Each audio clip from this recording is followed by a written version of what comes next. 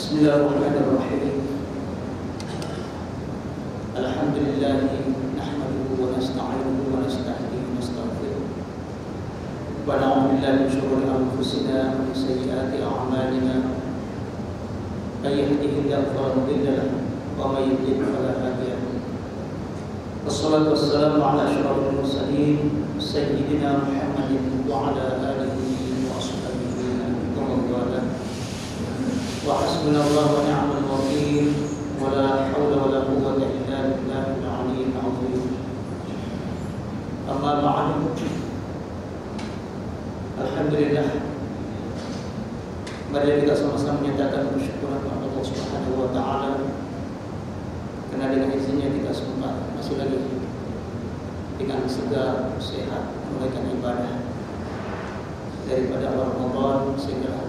insya Allah sampai ke akhir dan seterusnya.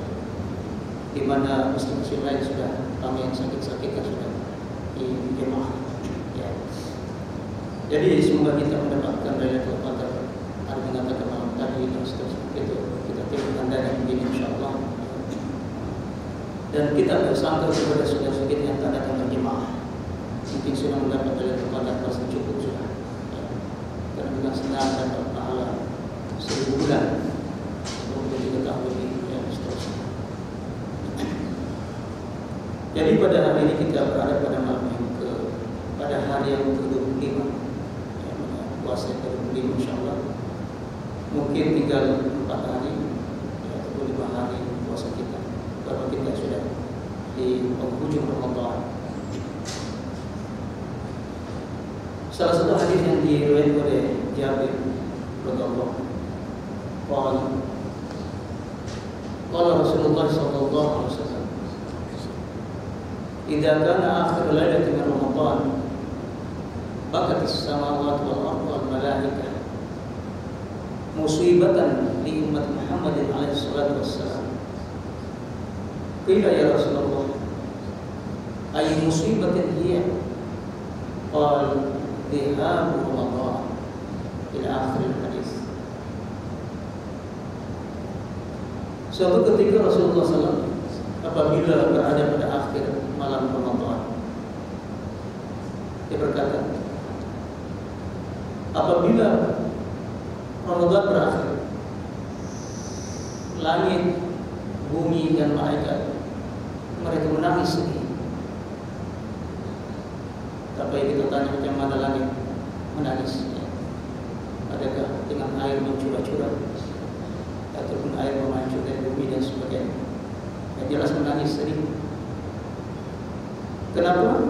Musibatan li umat Muhammadin alaihi salatu Karena musibah yang menimpa umat Rasulullah SAW Satu bencana besar Musibah bukan musibah dunia, tapi musibah agama. Yang mana kita kebanyakan kalau musibah musibah agama dia agak kecil, tapi bila musibah dunia begitu sedih. Beratus ribu orang mengucapkan takziah kepada kita. Tapi kalau musibah agama tak ada, tak tahu. Sehingga ada seorang seorang adil hanya sekali saya tak datang sembahyang berjemaah. Begitu sedih. Berpuluh tahun dijaga betul masa yang tapi terlepas kita sedih datang seorang syekh syekh naik tak salah. Berucapkan ta'ziyah inna lillahi wa inna ilaihi apa dia kata? Hanya saudara saya yang tahu aku terkena musibah yang lain tak faham bila anak meninggal beribu datang saya ucapkan ta'ziyah tetapi bila musibah agama hanya seorang tahu saja datang ucapkan ta'ziyah itulah kita manusia menganggap ringan musibah agama Apa musibah yang dihadap sultan? Sahabat berkata, Ayu musibah dan hiya ya Rasulullah. Apakah musibah yang menimpa umat Rasulullah? Ya Rasulullah. Nabi bersabda, Zihabu Ramadan. Kerana perginya Ramadan meninggalkan kita semua. Satu bencana besar. Fa'inna da'awati fiha mustajabatun. Karena semua doa-doa kita dalam sepanjang Ramadan ini mustajab. Diterima Allah. Wassadaqat maqbulah dan sedekah sedekah kebaikan kita semua diterima Allah Taala. Makbul. Wal hasanat mudha'afatun. Wal 'adzab madfu' dan hasanat kebaikan-kebaikan kita buat dilipat gandakan pahala. Azab neraka insyaallah akan ya kita bebaskan Allah Subhanahu wa taala. Bila kita betul-betul ikut syarat-syarat yang kita Saya itu pengulas saya mengatakan Fanahnu ahab bil buka wa ta'assub Sepatutnya kita yang lebih patut menangis Dan merasa kehilangan menyesal Kerana terputusnya Fadilah-fadilah begitu besar Dan kemuliaan yang berkata Allah Subhanahu wa ta'ala dalam Ramadan tadi ya. Jadi bulan Ramadan merupakan satu nikmat besar kepada umat Rasulullah sallallahu alaihi wasallam. Oleh demikian, maka kita masih ada peluang lagi beberapa hari. Kita melihat gandakan amal-amal ibadah kita kepada Allah Subhanahu wa taala. Untuk memaksa diri kita. Dan berdoa semoga Allah memberikan kita taufik hidayah yang dapat meneruskan ibadah lebih baik lagi selepas bulan Ramadan. Bukan kita hanya sebagai hamba Allah sepanjang Ramadan saja tetapi kita mau tetap hamba Allah sepanjang masa. Ya sentiasa bertakwa di mana saja dan bila saja insya Allah. Nah, itu kita harapkan uh, berkat dari Ramadan kita jadi sepanjang bulan Ramadan apa yang kita buat? Kita sentiasa melazimkan diri ke masjid zikrullah kiraatul Quran i'tikaf dan semua Selain itulah dalam satu yang mengatakan al-husul lil mu'minin min syaitan thalath. Benteng pertahanan bagi orang-orang beriman daripada gangguan syaitan tadi ada tiga perkara. Pertama, al-masjid hisnun. Wa dzikrullah hisnun. Wa tilawat wa tilawat al-Quran hisnun. Masjid adalah merupakan benteng pertahanan dari pergangguan syaitan. Masjid mahallul zakirin wal abidin wa mawqiful malaikah. Masjid adalah tempat orang berzikir kepada Allah. Tempat ahli ibadah. Tempat stesen malaikat tujuan utama untuk datang menyaksikan mendoakan orang-orang yang bertakar kepada Allah dalam tempat tadi. Sementara kalau kita menggunakan masjid, kita gunakan masjid itu seperti mana uh, kesesuaiannya. Maksudnya kita harus iktikaf. Ya, saya jelaskan iktikaf pada iktikaf. Iktikaf satu ibadah sesunnah yang dianggap wakil Rasulullah SAW terutama di akhir bulan Ramadan dalam rangka untuk menunggu malam al-qadar malam mulia. Ya. I'tikaf bermakna yang berkata wakaf. Ya. Al-wukuf ya atakaf. Ya. Maknanya melazimkan diri tetap di masjid bertajarub dengan Allah semata-mata kita kosongkan masjid kita untuk bermunajat dengan Allah Subhanahu wa taala. Kalau selama ini kita gunakan masa banyak untuk dunia kita, kita minta sedikit untuk bertafakur ya dan Allah Subhanahu wa taala Allah Subhanahu wa taala. Setiap kita masuk masjid, kita harus terus bersedia nawaitu i'tikaf fi hadzal masjid billah. Aku ni i'tikaf di masjid ini kalau i'tikaf dulu diam-diam situ bertafakur ya karena Allah Ya bila kita masuk masjid dengan niat itikaf, saudara-saudara kita jangan kacau kita. Kita berzikir kepada Allah taala. Ya. Bila kita bersembah maka rusak sebagainya. Lagipun masjid bukan tempat kita bersembah dunia dan sebagainya. Sehingga dalam satu hadis menyatakan bahwa kita ini sentiasa ditegur oleh malaikat bila kita isi dalam masjid. Apabila seorang berberancang bercakap yang tentang kemuliaan masjid, kemuliaan masjid, apa kata malaikat? Cuma kita tak dengar saja. Uskut ya wali Allah. Masih lagi kita dipanggil dengan wali Allah. Diamlah wahai wali Allah. Bila di sini lagi dia marah sekali. Uskut ya babid Allah. Dia melakukan orang dibenci oleh Allah. Cakap Uskut alaika la'natullah Dia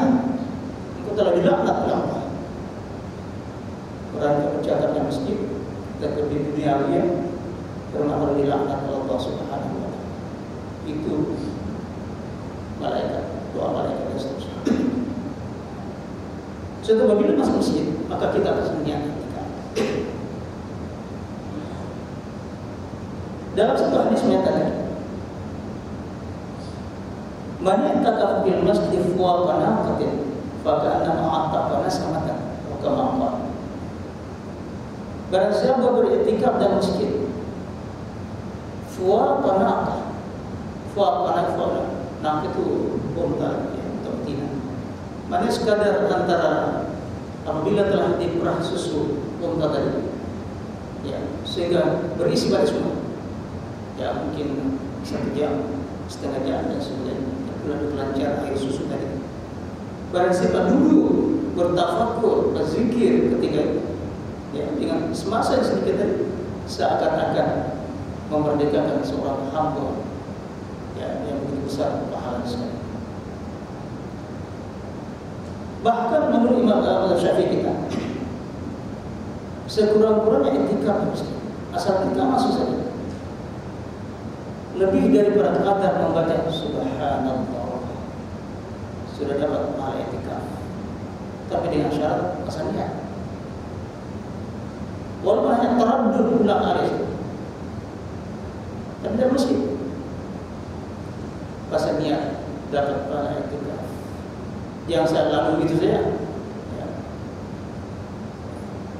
apatah lagi kalau kita nak etikaf namanya uh, satu hari sekurang-kurang kata lagi kalau ini Rasulullah 20 hari melainkan hari yang terakhir kehidupan Rasulullah bulan Ramadan 20 hari etikaf dalam satu riwayat.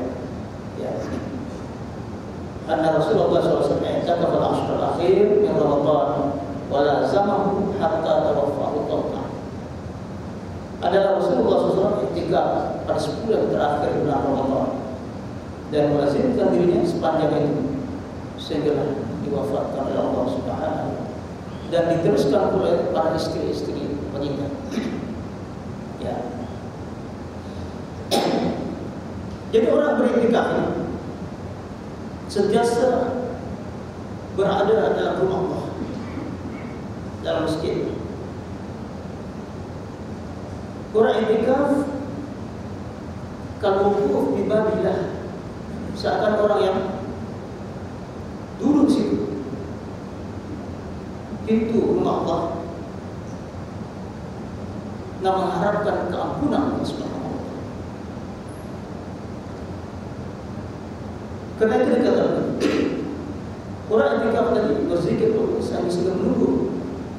sholat demi sholat dan sebagainya. Sehingga seakan-akan perbuatannya itu melambangkan bahwa La abrahu hatta taghfirli.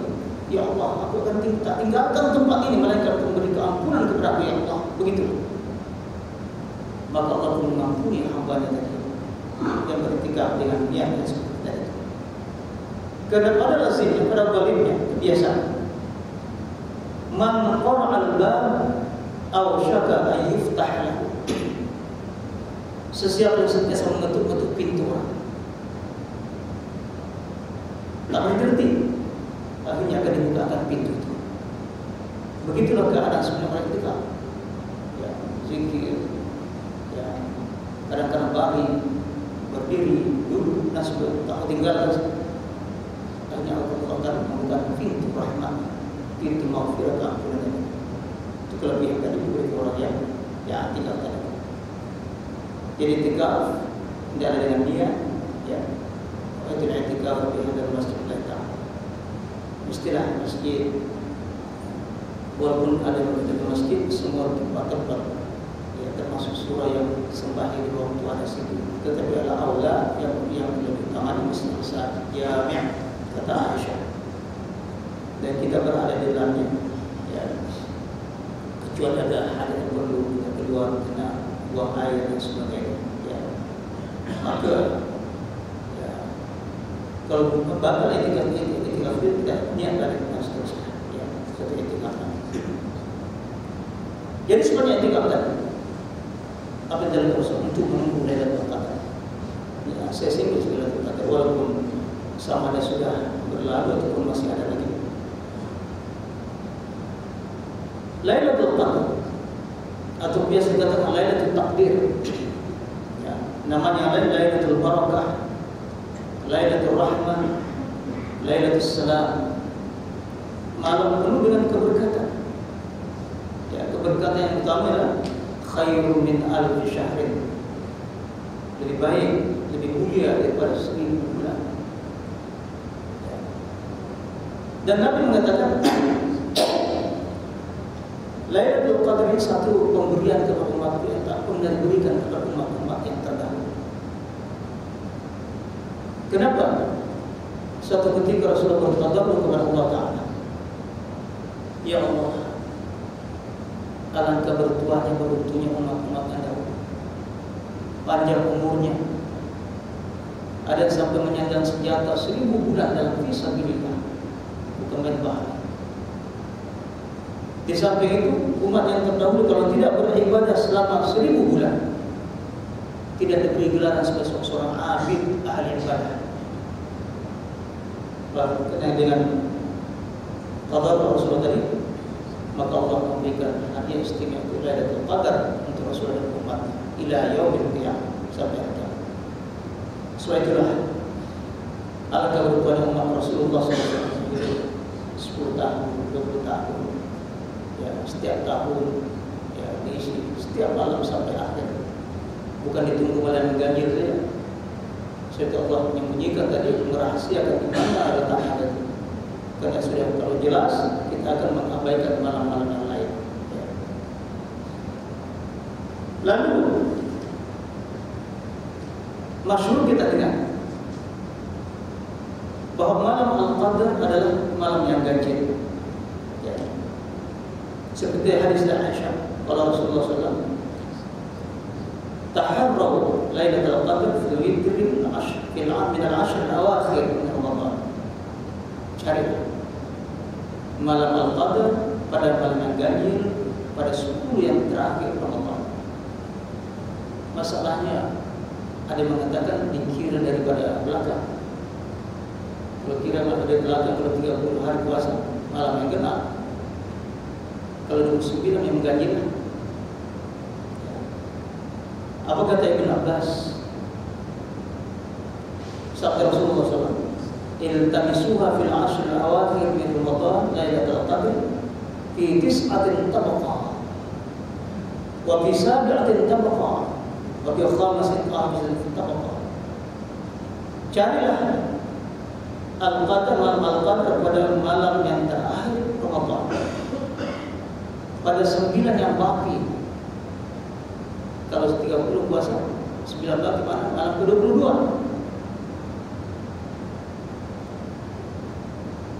kita seadil tabaqa pada sembilan yang baki bermakna malam ke-22 wa fi sabi'atin tabaqa tujuh yang baki bermakna malam ke-24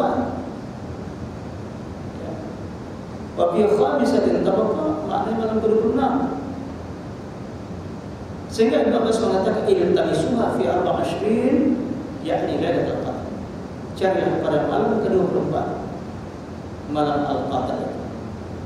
Jadi pada zahirnya kalau ikut pahaman Syafi'i pada malam yang genap. Ya. Bi'tibar mana kita ambil kira daripada formulanya tadi kalau lah 30 puasa kita cukup. Ya. Tapi kalau 29 nah betul lah 21 23 25 27. Karena ada dua hadis mengatakan carilah pada malam bermalam 17, 19, 21 dan seterusnya dan memandangkan nuzul Quran bermula pada 17 Ramadan Lailatul Qadar dan seterusnya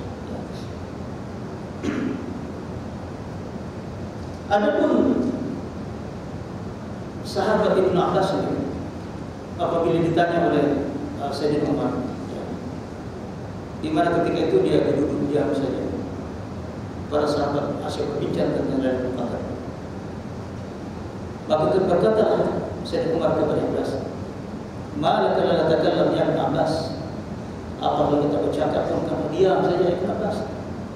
Cakaplah tentang Lailatul Qadar dia keluarkan pendapat.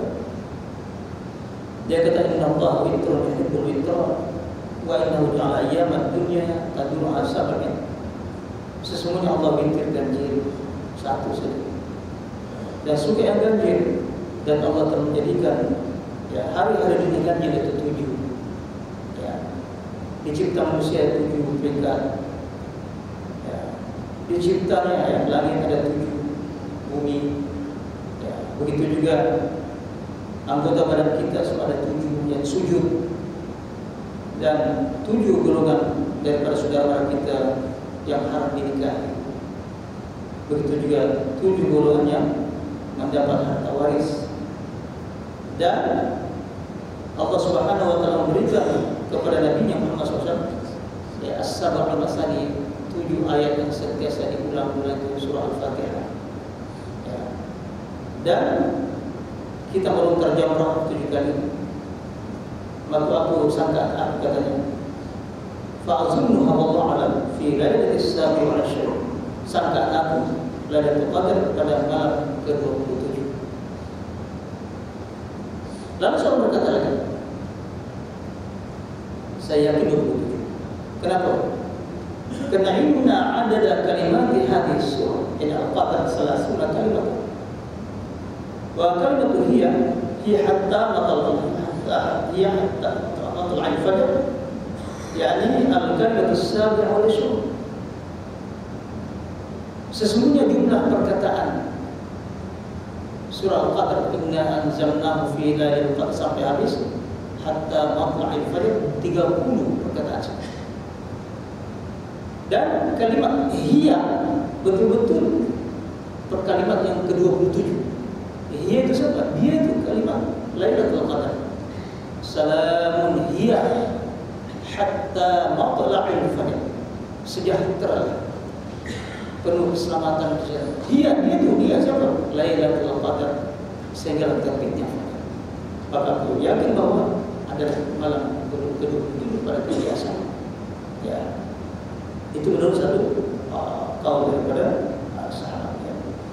Uh, cuma saja yang yang memberikan kenyataan yang biasa itu Imam Al Ghazali menurut Imam dalam kitab Hasan Imam Ghazali meramalkan kalau bulan Ramadan jatuh pada hari Kamis. Pada kebiasaan dalam Qadar malam ke-25 awal tadi kalau hari Ahad jatuhnya awal Ramadan atau Rabu biasanya malam ke-29 kalau hari hari Senin awal Ramadan biasanya malam ke-21 Lailatul. Kalau Selasa ataupun Jumat awal Ramadan biasanya malam ke-27. Kalau Sabtu awal Ramadan biasanya malam ke-23 Lailatul Qadar. Maka kalau Syaikhul Hasan dia kata qaulul Ghazali maqbul. Pendapat Ghazali biasanya tepat. Tapi dalam uh, pendapat ulama yang lain pula menurut pengalamannya kalaulah hari Kamis ataupun Sabtu berbulan Ramadan kebiasaannya 21 kalau Ahad Rabu pada kebiasaan malam 27 kalau Isnin di Jumat awal Ramadan kebiasaan 29 kalau Selasa kebiasaan malam itu di antara yang jelas kalau kita takmis insya Allah dapat. Itu saja. Tak payah kira mana ganjil ganjil dan sebagainya. Mulai dari berawal Ramadan sampai akhir insya Allah garanti dapat. Lailatul Qadar dan menurut uh, Imam Syafi'i kalau kita ikut sembahyang berjemaah pada malam tersebut sekurang-kurangnya sembahyang isya berjemaah dan subuh insya Allah maka tidak terlepas daripada pahala dan qadar sepenuhnya tadi itu. Ya itu diantara pendapat mereka tentang al-qadar tadi. Jadi kenapa dikatakan al-qadar? Untuk takdir tadi. Karena pada ketika itu ya Allah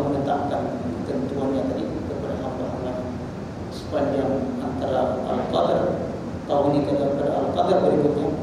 Ya ini menjaga tentang ajar rezeki ya, dan segala yang akan dibahagikan kepada hamba-Nya tadi ya. Uh, sehingga di antara dia tanda-tanda malam itu dia kata anda buljatun samhatun la hawrata wa la barina ya pada malam al-qadar malamnya sangat bersih suasana cuaca udara cerah tidak hujan tidak mendung tidak panas tidak terlalu sejuk dan tidak ada salahkan ataupun suara-suara anjing menyala pada itu sehingga masuk tidak tahu kalau dipastikan pada pagi ini misalnya dia kata takun syamsu sawihatuha bayda'a naqiyatan la syi'alaha ya. di mana matahari pada paginya? Kalau malam tadi ada qadar pagi pagi ini misalnya matahari nampak keputih-putihan tapi tidak mengeluarkan cahaya. Terang tetapi tidak memutus kenapa? Karena ditutup oleh sayap-sayap malaikat. Ya. Yang begitu banyak sekali sampai menutupi cahaya matahari. Karena mereka naik semula ke langitnya li'annal malaikat al-katsira ya tasqudu an dulu syams tidak indah dulu syams. Karena para malaikat itu banyak sekali. Naik sampai menutupi tadi cahaya matahari ila sama ya fayamna'u ya maka dihalang dari Uh, suluduha intisyarat syu'a'iha. Ya, dengan kenaikan malaikat tadi menutupi ya, sinar cahaya matahari tadi itu di antara tanda-tanda ya, menurut uh, kita jadi kita tidak putus asa tentang uh, datanya uh, dari tempat insyaallah ya. kemudian saya kembali pada tadi. Benteng pertahanan orang beriman daripada kejahatan syaitan tadi pertama masjid. Masjid kita masuk etikaf ya. dan kita membiasakan ya sebagai tetamu Allah beradab. Ya. masuk saja dengan tahiyat masjid tidak terseluruh saja. Mana elakkan daripada mau didekati bercakap kosong. Maknanya kita masuk saja terus ya bersikir baca Quran. Quran tidak akan kacau kita. Ya. tapi kalau kita dulu beli ini bersandar karena mari yang kedua zikrullah hisna berzikir kepada Allah merupakan benteng pertahanan daripada gangguan syaitan ya. banyak zikrullah ya. terutama sekali zikr al-hawqalah la haula wala quwata illa billahil aliyyil Zikir ini apabila terdengar oleh syaitan, yakhtafi bersembunyi, takut dengan kalimat tersebut. Sehingga dalam satu hadis oleh Aisyah mengatakan, apabila seseorang hamba Allah keluar dari rumah berzikir, ya, pada kata? Bismillah, masya Allah. Fi riwayat tawakkaltu ala Allah, wala hawla wala quwata illa billah Apabila saya membaca bismillah maka malaikat menyatakan mendoakan Hudita Engkau telah diberi hidayah oleh Bila baca Masya Allah ataupun tawakal kepada Allah Apa kata malaikat? Ufita Engkau telah diberi kecukupan oleh Allah Apa yang kau kehendaki. Apabila dibaca La hawla wa la quwata illa billah Apa kata malaikat? Malaikat? Wukita Engkau telah dipelihara yang oleh Allah Ta'ala. Dari segala yang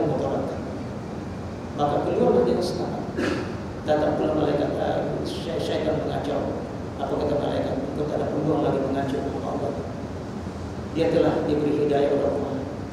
Dia telah diberi kecukupan oleh Allah. Dan dia telah dipelihara oleh Allah daripada perkara yang mentalkan. Maka sia-sia tadi sudah telah meninggalkan saya. Dan apabila kalimat tersebut dibaca lagi, bila kita masuk dalam rumah kita, Bismillah, Masya Allah, wa la hawla wa la quwwata illa billah. Apa kata Aisyah? Maka akan dijamin ketentraman, keselamatan rumah tangga mereka. Jauh dari kekecauan dan sebagainya. Jadi zikrullah juga merupakan khazanah kekayaan kita di akhirat. Banyak zikrullah, tak perlu kira lagi. Karena Nabi pernah diperlihatkan ketika melihat syurga. Apa kata Rasulullah SAW? Ra'aitu malaikatan yabnuna usuran usuran labinatan min dhahabin wa labinatan min fiddah. Saya telah melihat para malaikat membina satu istana yang sangat besar di surga. Di mana labinah batu bata dia ada yang terdiri pada emas, ada yang terdiri pada uh, fiddah perak. Sementara membina istana besar tadi, Fakaffu anil bina Tiba-tiba mereka berhenti Tak meneruskan terbengkalai tadi bangunan itu Aku tanya mereka Fakulta Lima kafaftun anil bina Kenapa engkau menahan Tak meneruskan pembinaan? Bangunan itu Fakalu mereka menjawab Pada tamat nafakatuna Telah habis perbelanjaan kami. Habis peruntukan. Aku tanya Ma nafaqatukum? Apakah nafkah perbelanjaan kamu? Qalu zikrullah zikir. Tuhan punya istana ini selama berzikir. Oh, kami cukup banyak modal. Tapi bila berhenti kami pun berhenti. Habis tak ada peruntukan terbengkalai. Jadi kita tak mau lepas Ramadan terbengkalai istana kita sana. Nah, maka kita teruskan zikir kita seperti mana zikir kita Ramadan tadi. Ya seperti mana firman Allah Taala ya man kana yuridu harsal akhirah nazidlahu fi harsi wa man kana amwali fil akhirah sesiapa yang mendaki ya uh, hasilnya tadi di akhirat kami akan tambahkan. Tapi siapa yang mau hasil di dunia saya akan tambah tetapi dia tidak ada bagian di akhirat. Nah, sebagainya ya zikrullah sebagai hisna syaitan ya. Pendiri dari syaitan sebesar itu adalah merupakan kekayaan kita khazanah kekayaan kita di akhirat ya. begitu juga qiraatul Quran membanyakkan baca Al-Quran ya. ya kalau kita tak mampu mengkhatamkan tadi baca ayat-ayat ya fadilah-fadilahnya dan sebagainya sepanjang Ramadan dikatakan syahrul Quran ya, bulan mengkaji Al-Quran ya, karena Al-Quran bukan sekadar kita wajib beriman kepada Al-Quran. Ya. Tidak sempurna iman kita hanya sekedar aku percaya aku beriman, tetapi tak mengenali Al-Quran. Mungkin ramai di antara saudara-saudara kita di tempat lain ya sudah berputar tinggal berapa tahun saja tak akan dikasih Quran lagi. Ya. Hanya iman saja iman saja. Dan kewajiban kita Al-Quran ya, begitu banyak sekali. Ya, pertama sekali kita wajib mempelajari Al-Quran bermula daripada makhluk huruf tajwidnya dan sebagainya kadang-kadang di kampung-kampung Fatihah pun tak betul lagi sudah 40 tahun ya. Ya jadi wajib ya wajib. Begitu juga mempelajari makna sekurang-kurang secara harfiah. Ya. Kalimat-kalimat harfan bi harfin ya. Kalau kita berbuka lagi tentang makna-makna ya Eh, daripada uh, tafsirannya dan sebagainya. Dan kita wajib mengamalkan isi kandungan Al-Quran kita wajib mendakwahkan Al-Quran menyebarkan ajaran Al-Quran tadi mengajarkan Al-Quran. Khairukum man ta'allama Al-Quran sebaik-baik antara kamu yang mempelajari Al-Quran dan mengajarkan Al-Quran itu sendiri. Kerana kalamullah ya dan bukan itu saja kita wajib mendakwahkan. Kita wajib memelihara kesucian Al-Quran menjaga betul Al-Quran ya. so itulah seseorang ditakdirkan hafizul Quran, menghafal Quran. Nabi mengatakan itu keluarga Allah Subhanahu wa taala. Kita hormati, kita muliakan karena telah diberi amanah Allah untuk menjaga Al-Quran jangan sampai hilang ya dan seterusnya. Sesiapa yang memuliakan menghormati hafizul Quran bermakna menghormati keluarga Allah Subhanahu wa taala. Sesiapa yang menghina hafizul Quran berarti menghina keluarga Allah Subhanahu. Telah diberi amanah Allah Subhanahu wa taala. Ya. Wajib menjaga kemuliaan. Ya. Sehingga ada juga ulama kita mengatakan dari segi zahirnya jaga Al-Quran tempatkan di tempat yang paling tinggi yang mulia sekali jangan ditindih-tindih dengan pen dengan handphone dan sebagainya itu menghina Al-Quran ya, tempatkan di tempat yang tinggi apatah lagi saya terbaca dalam saya bab rindah bab murtad dia kata jangan membiasakan membuka lembaran-lembaran Menjilat tangan kita bersentuh uh, mashab tadi itu itu satu penghinaan terhadap Quran tapi kita sudah terbiasa nak buka halaman hijrah itu. Ya. Ludah itu walaupun najis bukan najis tapi musuh. Ya. Kita sendiri tak sampai hati mencium kita selepas tinggikan. Ini kan dalam Allah kita sentuh kata itu. Maka hilangkan membiasakan kebiasaan tersebut katanya. Walaupun belum termasuk murtad, tetapi satu menghina terhadap Al-Quran menurut ulama tadi tetap bagus katanya. Itu kebiasaan. Kemudian seterusnya Itu tadi musibah agama. Lalu Nabi mengatakan, Lissaim farhatan. Farhatun inda iftar, farhatun inda liqa'i Bagi orang berpuasa ada dua kegembiraan yang sangat-sangat akan dijumpai. Yaitu ketika iftar, ketika berbuka puasa, ketika beraya itu di dunia dan ketika yang paling yang paling nikmat sekali ketika berjumpa dengan Allah nanti kalau di akhir akhir. Ya. Jadi apabila tadi tidak meraih Ramadan, malaikat makhluk lain sih, tapi kita pula kadang-kadang ramai yang gembira. Wah, beraya. Ya. Ingat dunia saya beraya, bahkan besar dan sebagainya. Pada ketika itu pula Iblis pura-pura sedih pula. Apa kata dalam satu hadis?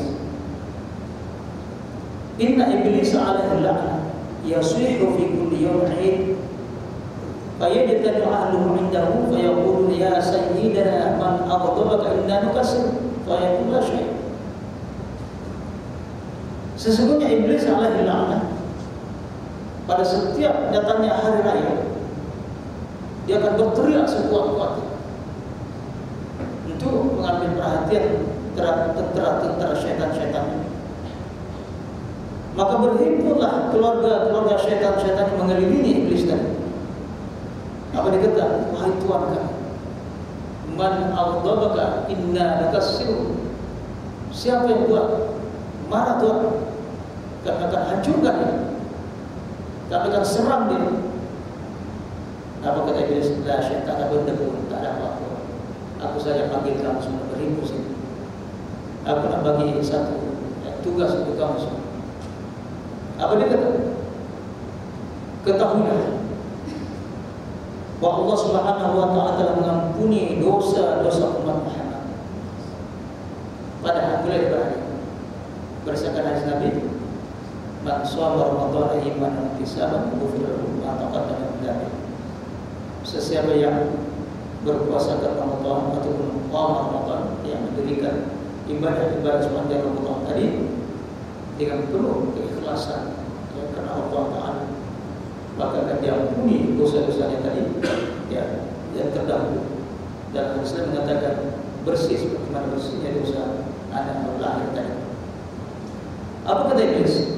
Mulai hari ini oleh karena umat Muhammad ini telah diampuni dosa-dosanya kita ada cara lain pula supaya mereka melakukan dosa lagi.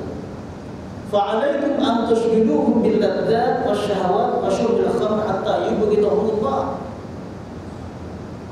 Tugas kamu semuanya diwajibkan kepada kamu wahai tentara-tentara syaitan-syaitan. Sibukkan mereka. Biar bersedap-sedap makan, minum, ya, sehingga boleh terminum arak, sehingga masuk dalam golongan dibenci oleh. Jadi syaitan tadi mendekati orang beriman, tidak menyuguhkan hal tidak. Dia akan mendekati kepada hal halal. Itu halal, halal, halal, kipas kita makan. Satu bulan kita makan siang, makan, makan. Kita makan terus. Balik raya itu Siapa yang rumah pertama kita singkat licin habis. Ya, beruntunglah dia. Pindah ke kedua licin juga. Ketiga begitu juga. Ya, ah, sudah masuk perangkat tadi. Ya, hanya penuh. Bila penuh, apa jadi? Berjamaah zuhur habis. Ya, asar pun tidak sakit perut juga dan sebagainya. Hilang lagi hikmah puasa tadi. Sumu tasih berpuasa supaya sehat. Sekarang dia sakit pula. Sakit. Macam mana teruskan puasa enam bulan? Nah, itu cara iblis yang mendekati daripada yang halal, halal, halal, halal. Dikipas begitu. Ya, makan, minum, ya. Lepas itu cari lagi. Buka pintu air, ada lagi, makan lagi. Jadi oleh kerana kita terlalu banyak memikirkan yang halal, keterlaluan, maka terbengkalai kewajiban kita kepada Allah Subhanahu. Kalau orang-orang dulu di kampung, ibu-ibu buat kue sendiri, kalau sekarang yang beli saja, ya, ya seminggu sebelum itu sudah sibuk ya, dengan dengan tangannya dengan apa itu. Sampai tak tak tak larang tapi sementara lagi tak memikirkan yang halal itu macam menjamu tetamu kita nanti dengan kue kue dan sebagainya. Ya, terlalu memikirkan halal. Ya, menjelang malam raya pula itu ah, bukan uh, bersikir berdoa ya pergi supermarket sampai di malam. Tak memikirkan pakaian baru anak cucu dan sebagainya. Ya. Itu daripada halal. Terlalu begitu memberikan halal jadi halal yang berlebihan akan memudaratkan kita. Dan itulah perangkap syaitan tadi beragam kita. Jadi kita fa'alaikum an tusybihuhum billah. Ya, maka diwajibkan pada kamu semua untuk ya, menyibukkan mereka dengan kesedapan, kesedapan dan kelazatan, kelazatan makan, minum dan sebagainya. Pada malam itu kita sebutkan kita berhitung, bertakbir dan sebagainya. Mengagungkan Allah Subhanahu Wa Taala. Ya, kampung-kampung kita buat, yang saya di kota putih sana di Ijo, ya, ya, dari rumah ke rumah, ya, pukulan takbir kita berjaya 30 bulan ya, dan menampakkan suasana ukhuwah Islamiyah tadi. Karena selama ini berbahasa muka, Alhamdulillah berpelukan, ya kita bagi situ pukulan-pukulan itu, kemudian uh, akhirnya biasa tempat saya, tempat saya tempat terakhir pertemuan situ, ketemu, ya kita bincang apa hasilnya dan sebagainya, dan menampak besar, ya. Nah, mungkin di bandar masing-masing sibuk dan seterusnya, ya. Kalau tempat lain di kampung-kampung bisa bertakbir, berjalan, itu ada yang pakai sehingga minum seterusnya.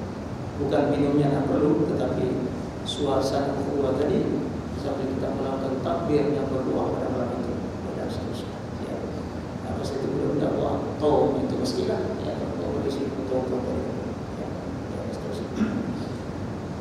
Jadi kita menghilangkan daripada disibukkan tadi tentang usaha syaitan iblis. Ya. Uh, kemudian seterusnya,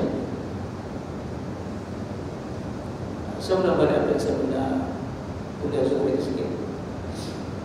Waspada Ramadan, kita orang beriman ibarat pesakit pesakit dia masuk ke hospital. Jadi bulan Ramadan ibarat hospital. Kita akan berobat sepanjang masa. Kita orang sakit Allah mau supaya kita sehat. Dalam keadaan sehat menghadap kepada Allah.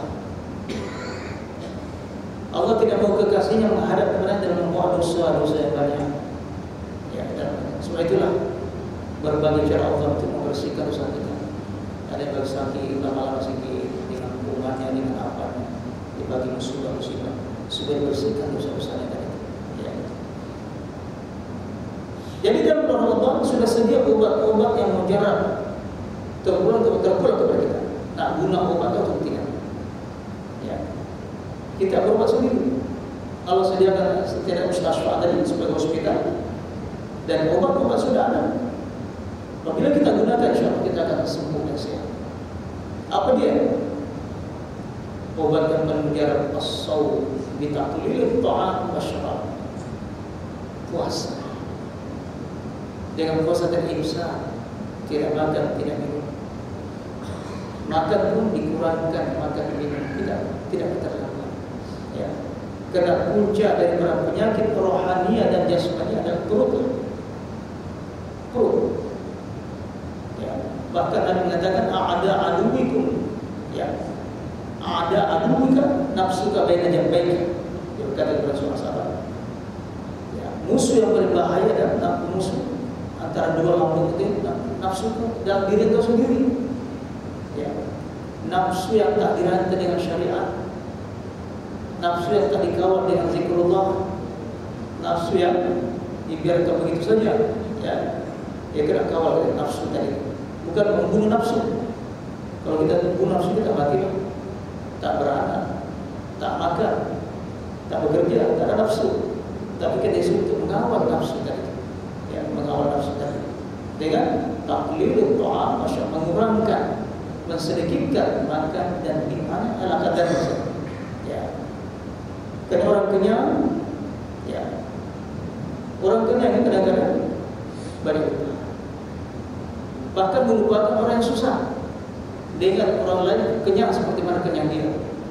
Tetapi bila puasa dia dia rasa lapar ya. Dia teringat mana kelaparan orang-orang susah. Ya tak tentu dia kenyang tapi kita orang berada ini ada masa tertentu ketika kita kenyang pada waktu maghrib ya jadi dia puasa tadi Sebab itu apabila lepas puasa Ramadan kita melanjutkan yang puasa Syawal. Bukan itu saja. Bulan-bulan berikutnya sekurang bulan tiga hari berpuasa. Ya, itu hari bir pertengahan setiap bulan 13, 14, 15 tadi tinggal terus berpuasa.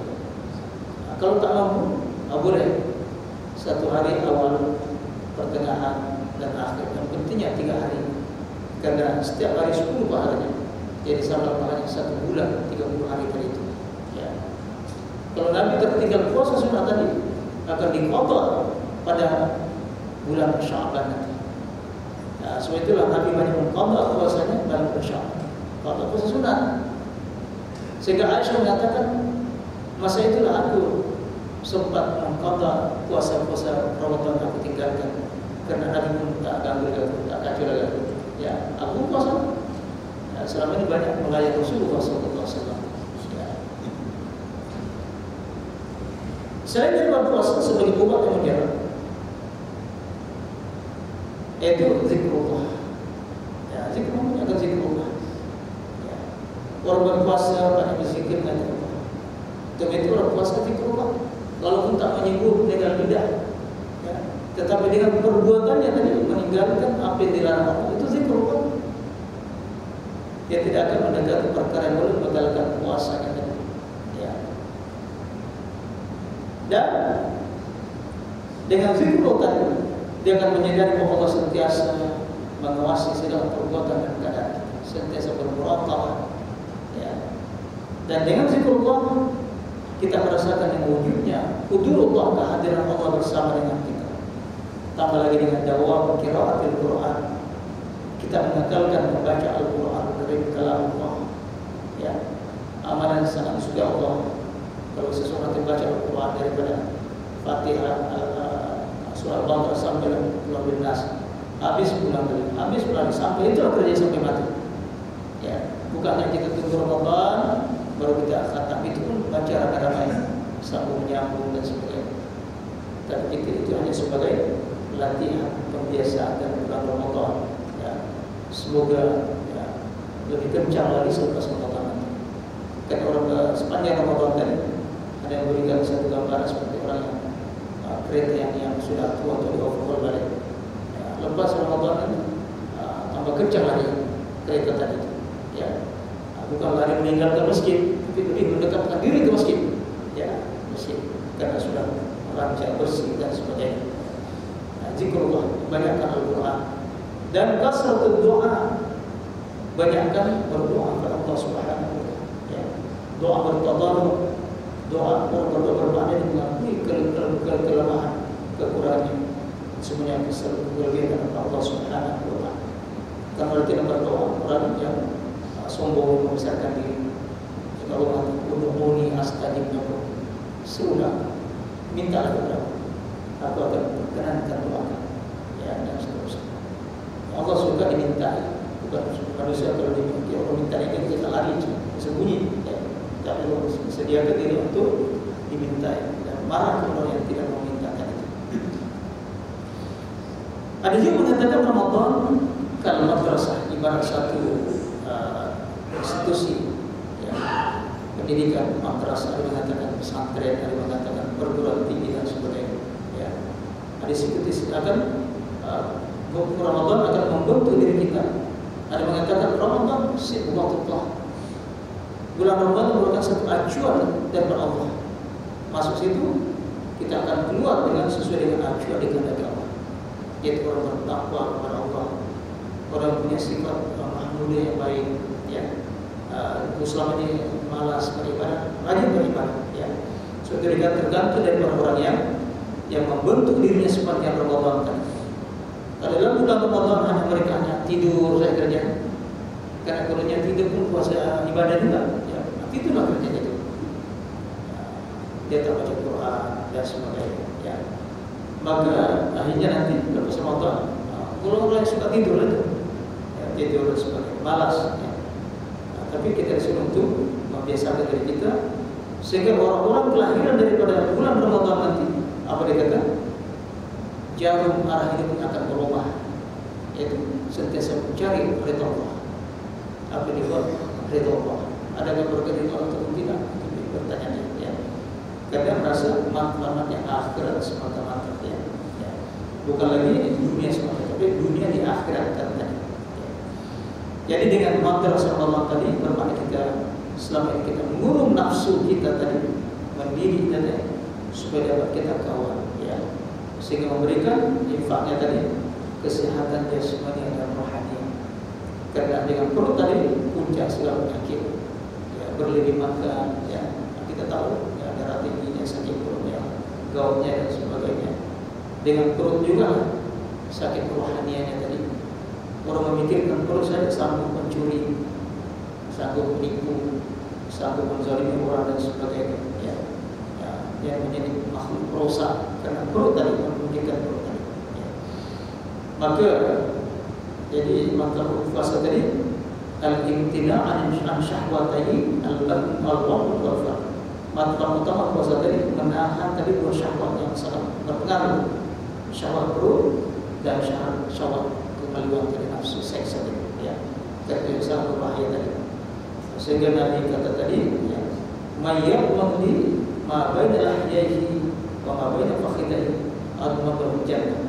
Sesiapa yang menjamin aku dia boleh menjaga antara dua rahangnya ini tak mulut tadi jaga baik-baik dan antara dua pahanya itu kemaluannya tadi maka aku jamin surga ya. Jaga mulut tadi ya, jadi makan hal-halnya kita boleh kontrol dan sebagainya. Begitu juga yang ucapan kita keluarkan. Ya karena kita sudah terdiri sepanjang Ramadan kita tidak akan suka memaki orang ya. Uh, bergaduh dengan orang mengumpat dengan orang sebagainya ya. ya sehingga diajak kita kalau Islam berpuasa kalau orang ada kita bergabung cakap saja ini soal maaf sudah puasa bukan bermakna lepas puasa kita bergaduh. Tidak. Aku orang puasa ya. nah, kalau kita sanggup mengekalkan begitu insya Allah jadilah orang-orang yang bersih menghadapi Allah Subhanahu Wa Taala. Jadi dikata menahan diri asalnya tadi uh, daripada yang halal. Ya. Kalau halal kita boleh tahan diri kita tak makan tak minum pada itu makanan kita halal, istri yang halal, suami yang halal dan sebagainya. Ya. Apatah lagi kita menghindari daripada perkara yang halal. Ya. Ya. Boleh membatalkan pahala puasa tadi dengan mengumpannya, dengan maki habunya, dengan amarah-amarahnya dan sebagainya. Ya. Di samping itu, sepanjang berpuasa kita orang lapar biasa tak banyak cakap. Tapi orang punya nggak banyak cakap. oh cakap cerita sana kurang kenyang. Tapi orang yang lapar dia dia pikir lapar saja. Oh percakapannya ya. Nah, kalau percakapannya dia ada wayar betul. Ya. Ya. Dia kata uh, lisanul jari ya. Lidah orang yang lapar biasanya doa fil kalam lemah segi cakap. Dia terbaik cakap. Ya. Maka kita banyak tadi berpuasa tadi menahan lidah tadi tidak bebas bercakap. Ya. Sudah tidak berkata idza kana yaum sawmi ahadikum fala yarfuth wa la yaskhar fa in sabbahu sabbahu ahadun aw fala yaqul inni sha'im apabila seseorang kamu berada pada hari berpuasa ya, janganlah banyak bercakap yang keji ya, jangan suka menengking-nengking orang ya. Kalau ada orang yang ya, mengajak kita bermaki-makian itu ataupun uh, nah, bergabung. Katakan ini soal ikut minta maaf aku berpuasa dan sebagainya ya. kalau begitu insya Allah akan sampai pada puasa tadi semoga menjadi uh, umat atau Allah yang lalu pakai kemudian terakhir tadi uh, nota utama yang tadi tarwidun nafs ala sabri wa quwwatil iradah wa membiasakan diri, melatih diri untuk bersifat sabar. Karena semua tadi kesabaran. Tak makan, tak minum, tak bercakap banyak, tak marah. Kesabaran, karena kesabaran penting dalam hidup kita. Wa ayin tasbiru wa tattaku fa inna dzalika min azmi. Kalau kamu sabar, bertakwa, itulah perkara yang penting dalam segala urusan kita. Ya, kita. Maka dengan sabar tadi ya, akan membangkitkan kuat ya ataupun stamina tadi untuk bergerak ya untuk melakukan sesuatu perkara amalan berikutnya. Dan taat kepada Allah Subhanahu wa taala. Jadi kesimpulannya syahrul Ramadan syahrul sabr. Bulan Ramadan adalah bulan kesabaran ya. Akan membentuk manusia sebelum lepas Ramadan manusia yang sabar ya. Manusia yang bertakwa berhati-hati dan sebagainya ya. Wasabru ya kesabaran itu tidak ada balasan mereka surah Allah Subhanahu wa taala. Jadi itulah di antara